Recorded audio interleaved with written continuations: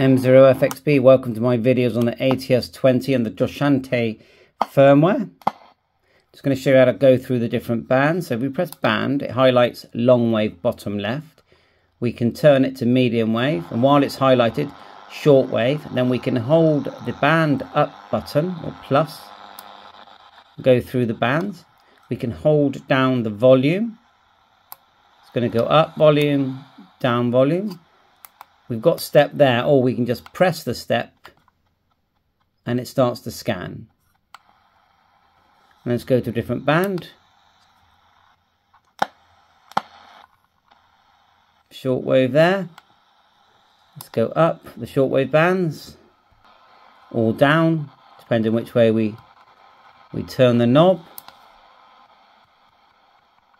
Covers so many bands. Of course, you need a, a decent antenna as well. If you press and hold, starts to scan. You've got the step here as well. Change the step. When you dial ADC, seems to just turn the screen off. But there is a whole new menu for settings. If you press the band down button, you get this menu number one. Notice it says it's number one of three band up. So we need to look, get, get the instruction manual out and have a look at that. So yeah, it's a fantastic device for such a low amount of money. They're only about £27. The Arduino firmware can be programmed using the this USB micro. You've got USB-C charging with a built-in battery that just lasts for ages and uh, power on and off. You've got headphones there, FM. You can even plug in a Bluetooth speaker into this and you can Bluetooth your audio you just plug in one of these adapters here. I'll show you the adapter. Just plug it into the headphones. There's your adapter. Just flashing away now. And then you get yourself any Bluetooth speaker. I've got this little cheap one here for now. And when it pairs, the audio will come out of the speaker, uh, not the actual radio. Then you so you can walk around with this.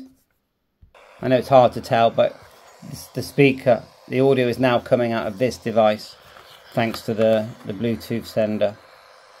So it's great fun, inexpensive, and I've just been outside and I was picking up HF bands just on the telescopic including an antenna that you get with it.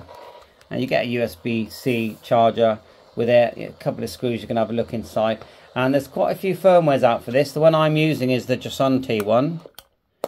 Uh, but there are other ones, and if you use the, the software that I've linked in the description, then uh, it's not hard to update the firmware.